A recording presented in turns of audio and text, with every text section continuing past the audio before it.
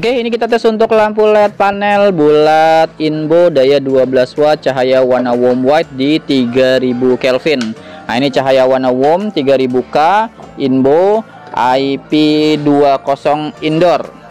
Oke. Model bulat 220 volt.